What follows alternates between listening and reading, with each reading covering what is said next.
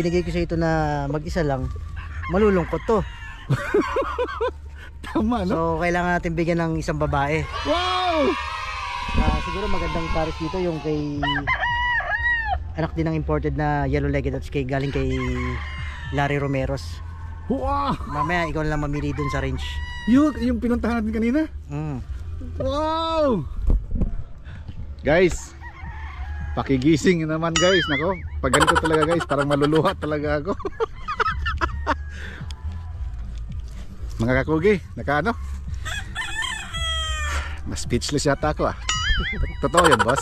Ito, So, di joke boss. hindi, hindi joke. Hindi joke. Yung ama 350,000. Tapos ito Guys, Kelso, anak ng imported. Tapos may Paris pa. Larry Romero. Sure na yun, boss talaga. Sure na. Hindi na kita tanongin, boss, baka mag-iba yung isip mo. Talagyan pa natin ng babae. Yun! Huh!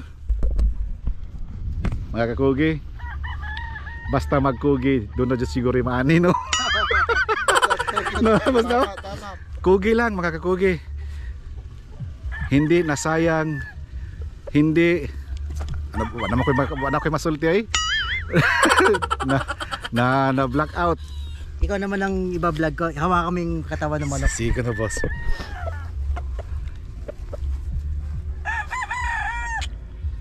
Guys, paano ko ba sasabihin? Paparamihin natin to mga kakugi doon sa ating munting backyard. Kung bibili tayo nito guys, sure ako hindi ako maka-afford nito sa totoo lang. Pero binigay sa atin ni Boss Randy at saka ni Boss Iwin. Boss, maraming maraming salamat boss. Talagang nag-uumapaw ang aking sa- saya, ang aking tuwa. At isa pa, hindi to nag-iisa. May kasamang asawa. Yun. Boss, thank you boss. Thank you. Thank you talaga. Guys, Si Boss Randy, hindi lang gwapo, mabait pa. Tingnan nyo naman yan guys. Basta magkugi, doon na yung maani. Diba? Atro tapos. Uwi na kami. Masa mo na. So guys, bibit-bitin ko na to. boss, thank you. Thank you talaga boss. So, dadaanan na lang namin to boss pagbalik. Oh, So, saan na namin lab saan ko ba lagay ito? tali muna natin. Oh, tali mo na natin. Guys, nawala ako sa topic namin ni Boss Randy. Anyway, Boss Ran, itong mga manok nyo dito, boss, kadalasan kasi pag pumupunta ako sa mga farm, yung mga viewers natin, OFW, lalo-lalo yung mga OFW, nagtatanong talaga kung magkano ang presyo dito. Ah, yun lang. Sa presyo natin na Mm, doon muna tayo sa bread and butter namin sa farm. yes, Ah, alam mo na yun, yung Black Kelso tsaka Black Kelso at Ewens White. Ewens White. Mm-mm. Sa Ewens White, ah, ang brood stag is 30k. 30k broodstag. Ganun din sa Black Kelso. Okay, Tapos ang pulit nila, ah, 15. 15k. Oo. Black Kelso yan tsaka Ewens White. Oo. Mm. Tapos doon naman sa mga imported natin tulad ng mga kelso natin, mga yellow legged ducks, yung mga yan, ah, napag-usapan namin ni Ewi, ng partner ko. Mm-mm.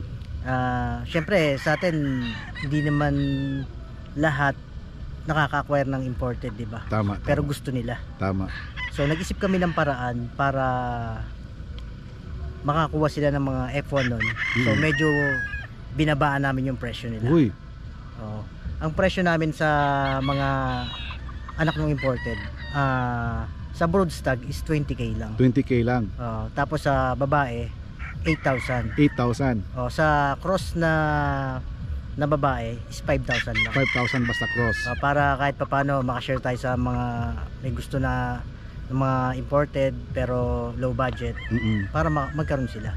Yun. Yung cross nyo boss, two-way cross lang. Two way lang. Two-way lang. Yung mga battle crosses nyo boss, mga stags, magkano kaya? Ah, ang battle cross namin talaga 8,000. 8,000. Walang minimum, ganyan. Wala, wala. Wala. So, 8,000 battle cross na stag. Tapos ah, pang material na mga F1 pero hindi Ewins White saka Black Kelso is 20k. Hmm. Tapos ang babae is 8k. Hmm. Yun. Crosses sa mga pulit is 5k. Hmm. Sulit na sulit. Akala natin, akala nyo, mahal no, ang manok ni Ewin no. Hindi guys. Yung iba dyan na mga ano natin, mga kakugi dyan, minsan, nagdidebate kung saan ba ang mas ano, importante. Yung record wise or yung mga bloodlines. Huwag na kayong magdebate guys, mga kakugi. Dito sa Ewin, Ewin's ah, mga, mga ano niya, mga signature lines sa manok ni Ewin, may record na may mga quality bloodlines pa. So, 2 in 1 yun. boss, pwede mo ma-invite yung mga ano natin, boss? Na maka, pwede ba silang makapasyal ito, boss? Ma-invite naman. Ah, siguro soon pwede kayong magpunta rito Mm ah, pagka natapos na. Pero sa ngayon, yung mga may gustong pumasyal sa farm, sa Compostela muna tayo. Ah, oo. Tsaka sa Compostela, mas marami kayong pagpipilian. Tama, tama. So, yun mga kakogi, boss. Ang bait mo talaga, boss. Boss, hindi pa tayo tapos, boss, ha? Natuwa lang ako, boss, kasi yung ibinigay mo sa akin, worth ano pala yun? Ah, 20k? Hmm. No, ako. Yung ibinigay ni boss sa atin, worth 20k pala yon mga kakugi. Yung broodstag. Tapos yung inahin naman is 8k. 28, naka 28,000 tayo ngayon mga kakugi. ano pa bang paano? Cut muna tayo mga. Mag- Mag-isip pa ng topic. Na, ano ako? Nablock. Dito sa manok ni Iwin talaga, bilib na bilib ako mga kakugi kasi yung mga presyo nila hindi naman ganun kataas. Tapos ang quality ng kanilang mga manok, mga bloodlines, katulad din ng iba ng mga nag-i-import. Pero magkano lang presyohan nila mga kakugi, yung F1 nila 20,000. 'Di ba? Maliban na doon sa kanilang mga signature line, yung Evans White at saka yung Black Kelso, 30,000 yon. Tapos yung mga pulit nila, pwede kang makabili ng 5,000, pwede kang makabili ng 8,000. Boss Ran, ito Boss Ran, itatanong ko boss. Ito bang mga prices nito boss talagang pinag-iisipan nyo? Talagang ano bang kinoconsider nyo boss it- sa mga prices nyo sa pagbebenta ng mga manok? Sa amin naman sa price sa kumbaga, syempre alam naman natin mga price ng mga ibang breeder. So kaya medyo mababa yung sa price namin sa imported. Talagang ang isang purpose namin, gusto naming makatulong dun sa mga maliliit na magkaroon sila ng maayos at magandang manok. Yun. Kasi napakahigpit ng labanan. So para mas gumanda yung labanan, Mm-mm. talagang pagalingan kayo ng breed, Mm-mm. 'di ba? Mm-mm. bigyan natin ng break yung mga maliliit na magkaroon din sila maayos na manok para yung binibreed natin, ma-testing natin kung talagang magaling ba na kaya rin ang magaling, di ba? Yun. Oh, tsaka yun nga, ah, meron kaming isang ah, napag-usapan ni Ewin Mm-mm. ah, about sa derbies dito sa Cebu. Ah, yun nga, ah, kung po pwede sana hingi kami ng support ng mga organization dito tsaka ng mga fighter, yung mga entrante para mas maganda ba yung labanan natin kung po Mm-mm. pwede ah, sa mga derbies natin mas maganda siguro lalo sa stag derbies mas maganda siguro kung i-required natin na kailangan may registry form Registry form. Oo, kasi kumbaga hindi ko naman nila lahat dito sa Cebu. Marami nang nangyayaring ganun na minsan ah, ang kontra um, hindi sa amin ah, Mm-mm. hindi sa amin nangyari. Minsan yung kontra ng isa umayaw kasi magulang daw yung Isa. yung isa. Mm-mm. So, mas maganda yun kung mapa-implement natin na kada derbies meron sana tayong ah, registry registry form para mas maganda ma- matest natin yung breed natin nitong taon na to kung talagang Magaling. magaling. Kumbaga, stag sa stag pagalingan tayo ng breed, di ba? Mm. Mas maganda sana ng ganun. Tama. Tama boss. Kaya kung po pwede sana yung yung ibang kaibigan namin, Yung mga associations. association. Mga, oo. kung pwede lang naman. Kumbaga, hindi rin naman hindi rin naman para sa amin. Kumbaga, para mas gumanda yung laban natin. para sa lahat. Para sa lahat, para maging patas lahat. Ako, magandang ano yan boss, magandang magandang point yan tama yung sinabi ni boss kasi may naririnig na rin akong mga ganyan mga kakugi Ah, dapat talaga may katunayan na talaga yung edad ng manok mo na isinasali mo sa event na yan talagang hindi nagsisinungaling. Parang yung katibayan mo talaga proof. Yun ang sinasabi ni boss yung registry form. Kasi guys may naririnig ako pati naman siguro kayo hindi na hindi nyo hindi nyo hindi ito eh hindi strange to sa inyo eh. Alam ko mga kakugi nakarinig na rin kayo niyan. Minsan nga kayo pa nga naka-experience. Yung manok nyo stag tapos yung kalaban nyo bullstag na pala. Bakit nagkaganon? Shout out sa lahat ng mga association ha? Sa lahat ng mga association especially dit- dito sa Cebu. Guys dapat fair sana ang labanan. Diyan natin makikita challenge sa atin to. Ito, ito yung gustong gustong ibig sabihin ang ibig sabihin ni ano ni, ni boss. Kung totoong magaling ang manok mo patunayan mo huwag kang magsinungaling sa edad. Kasi dihado naman yung mga talagang matitino ba no? Saka yung mga association naman dyan dapat fair lang sana. Ah, ano lang yan guys ha kasi hindi lang isa or dalawang na, na, na, na naringgan ko na may ano may hinanakit sa mga ganyan mga kakugi. Tsaka ang sarap sa pakiramdam nung nung nung ikaw ang nag-breed, ikaw Oo. lang kondisyon, mm tapos mananalo. yan Diba? nag-champion. Yun ang masarap sa pakiramdam talaga. talaga. Yan pangpagising na yan sa mga ano ha, sa mga association. Marami tayong mga kaibigan dyan na may mga associations ito boss kahilingan lang na kung sana wag naman sanang mangyari sa upcoming na mga events upcoming na mga derbies mag-uumpisa na eh September na di boss sana fair lang talaga kasi dyan tayo magagaling eh mga, mga sabungiro maginoo tapos passion natin to Diyan tayo masaya, nananalo yung manok natin, walang daya. 'Di ba? Mga kakugi. Kung mayroon man ng daya diyan, mayroon mang may palusot diyan, iilan lang ba sila?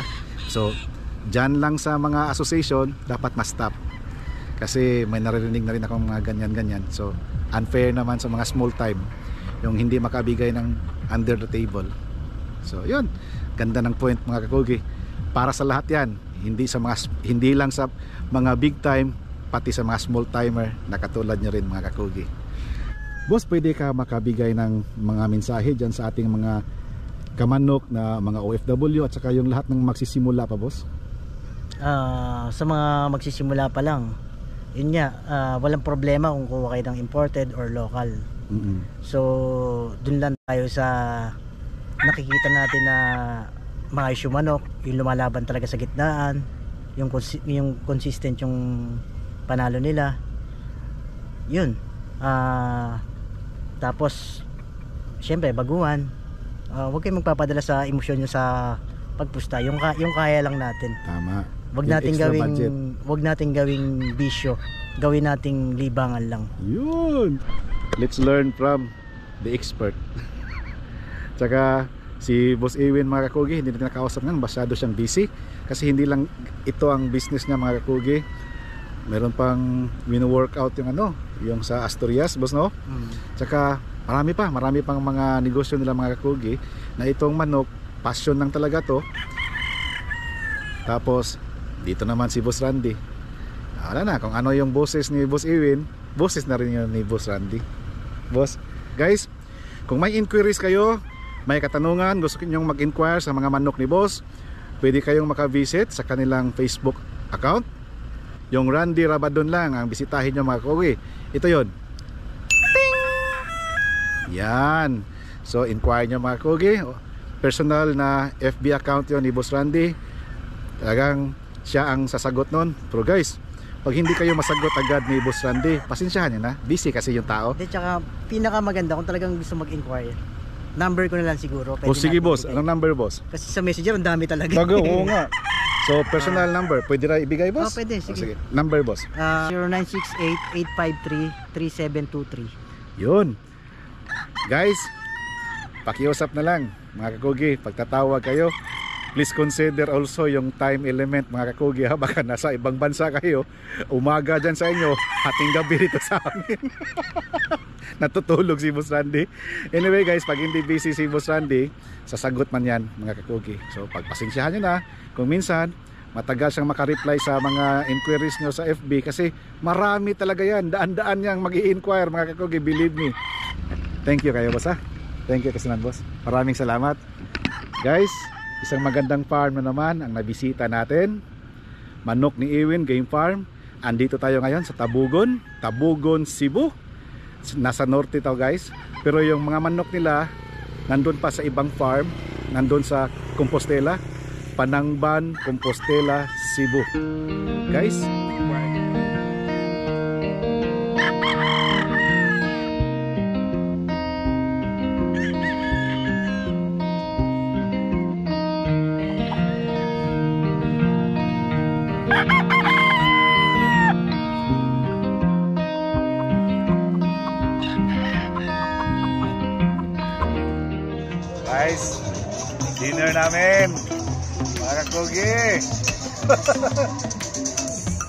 oh smile naman dyan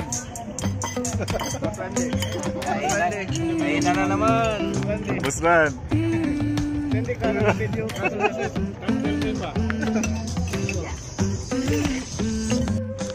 Yun. Wapo ba? Yun, gwapo. Ay, hello. Masarap yung kain natin.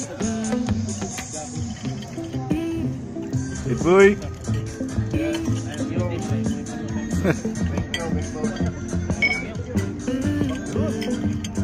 Tingnan nyo guys, oh. Oh.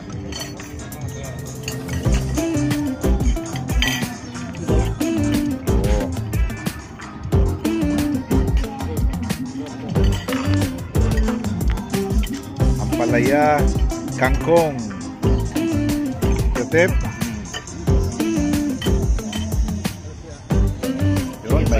Pata. Ano yan tawag? Chicken panda. Chicken pandan.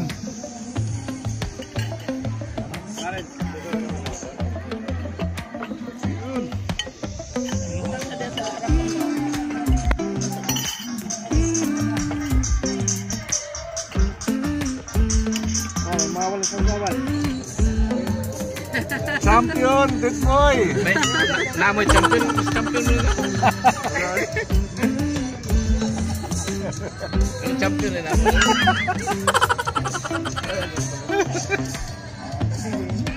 Murag ka ni siya champion sa inyo ang grupo. Oh, boy. Yeah. Pinaka-champion eh. Boss Randy, Boss Ewin, ah, ito yung binigay niyo Black Hills sa akin. Napakagandang Black Hills. Ulit. Maraming salamat po. Salamat sa binigay mo, Boss Iwin at Boss Randy sa binigay mong pulit na bulik M&A Game Farm. Salamat. Ah, salamat po Boss Ewin at Boss Randy Rabadon sa binigay nyo sa akin nga maganda nga grain. Salamat po Boss. More blessings to come and M&E Game Farm. Guys, ito yung isang na, ano, na natanggap natin galing kay Manok ni Iwin. Thank you po, boss. Isang inahin, mga kakogi. Tsaka, meron pa. Guys, mga kakogi, ito yung pangalawa na inahin na binigay ni, ni Manok ni Iwin. Sa Manok ni Iwin. Boss, maraming salamat talaga, boss. Ito guys, ano to? Si, ah, Cecil Davis Hilso.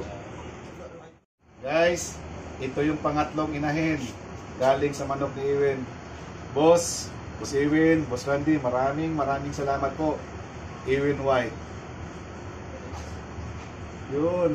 Tapos mga kakugi, yung brood stag natin. Yun. Talagang, ano mga kakugi, masayang masaya ako ngayon kasi nakakuha tayo Sakto lagi to wala. galing sa manok Iwin Quadro! Tatlong inahin at isang broodstad mga kakugi. Basta magkugi. May ani yun mga kakugi. Thank you. Thank you po boss Iwin boss Randy at saka kay ma'am. Thank you po sa lahat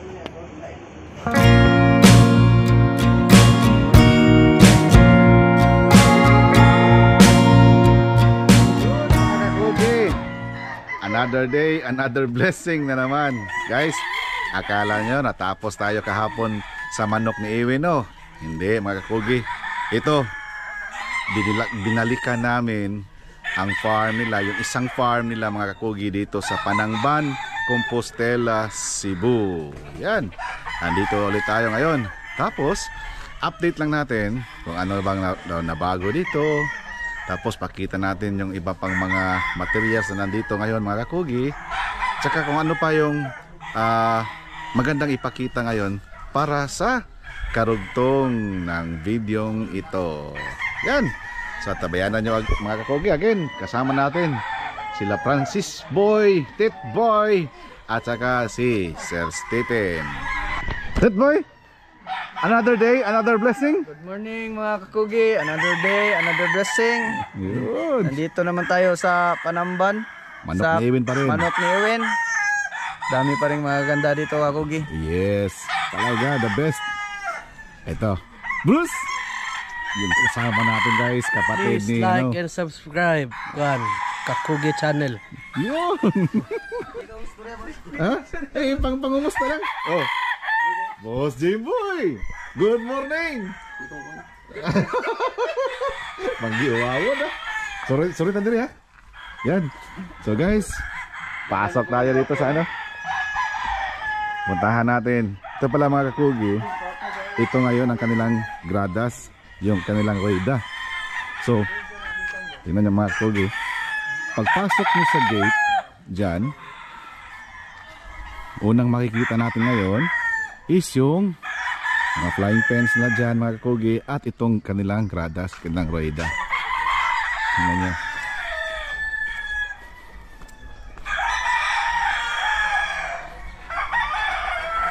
Yun. Made of glass. Glass yung ano guys. Yan. Tapos, nandito ang kanilang scratch box. Talagang ginastosan mga kakugi ha. Metal na scratch box. Ito pa, mga scratch box. Tapos yung keeping box nila guys. Tingnan nyo naman. Keeping box. Dito na kinikip yung mga manok pag kinokondisyon. Yan. Saka ginawa nila ng ganito guys. Parang pa- pangpatungan ng pangpatungan ng manok. Ako, matigas na kahoy to guys. Oh. Mabigat. Mabigat. Tapos ilalagay yan dyan pag may manok. Ganyan. Papatungan ng manok. Tapos, siyempre yung ipot, bagsak na sa baba. Yan. Keeping, ito yung keeping ano na, keeping box. Tapos dyan naman, yung mga flying pens. Flying pens ng mga kinokondisyon mga kakogi. Oh, marami pang mga keeping box na nandito ngayon. Buzzing boy! Pa-smile-smile lang yan guys oh. Shout out daw sa lahat ng taga Lapu-Lapu, Gunog. Mga silingan. Boss. Ito yung mga iilan sa mga trophies nila mga kakogi. Yan. Dami na yan ha. Mga championship. May Breeder of the Year 2019. May Cocker of the Year. Cocker of the Year 2022. Ah. Stag Idol of the Year 2016. Ayun, oh. Mga trophies.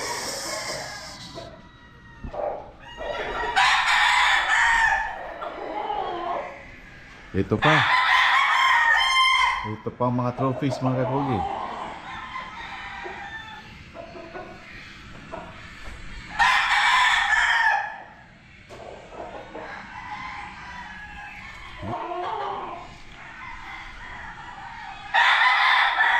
Mamaya pala mga kakugi, mahihintay silang bisita. galing sa Borongan, Samar, Leyte, mga kakugi. So, mamaya baka ma-interview na lang din natin konti yung bisita kung pwede. Kung papayag din. Yan.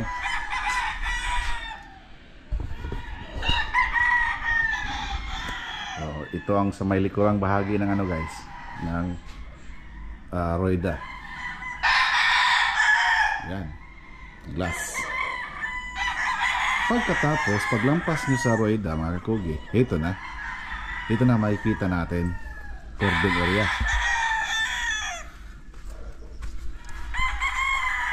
Yun.